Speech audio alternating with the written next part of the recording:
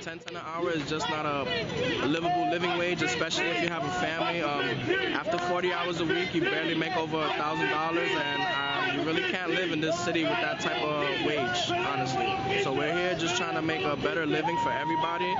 You know, I'm here on my day off. You know, I'm not just doing this for me. You know, it's not just about me. It's about all of us. So as you can see, as you can hear behind me, we're all here fighting. We're all here sticking together, and